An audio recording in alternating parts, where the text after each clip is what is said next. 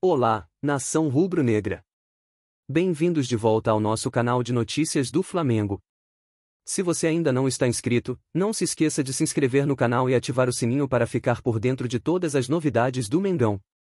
Hoje trazemos uma notícia que está agitando o mundo do futebol. O Palmeiras demonstrou interesse em contratar Bruno Henrique, nosso talentoso profissional.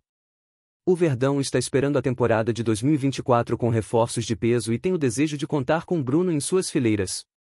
A solicitação para essa investida do Palmeiras se deu devido à situação da renovação do contrato de Bruno Henrique com o Flamengo, que está emperrado. O contrato atual do jogador com o Mengão vai até o final de 2023, mas as negociações não avançaram como esperávamos.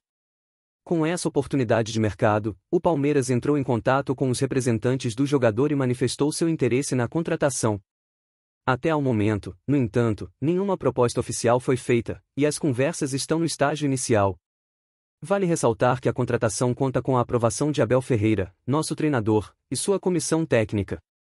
Bruno Henrique se insere no perfil de jogadores de alto nível que o Palmeiras busca para fortalecer o elenco em 2024. Por outro lado, o Flamengo ainda mantém o desejo de renovar o contrato de Bruno Henrique por mais dois anos, mas as negociações não estão progredindo conforme o planejado até o momento. Isso significa que Bruno Henrique já está apto a assinar um pré-contrato com qualquer outro clube. Desde que chegou ao Flamengo em 2019, Bruno Henrique conquistou 11 títulos defendendo nossos núcleos.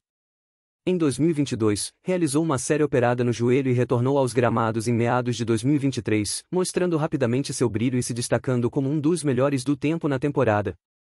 Fiquem ligados aqui no canal para acompanhar de perto todos os desdobramentos dessa história e outras notícias sobre o Flamengo.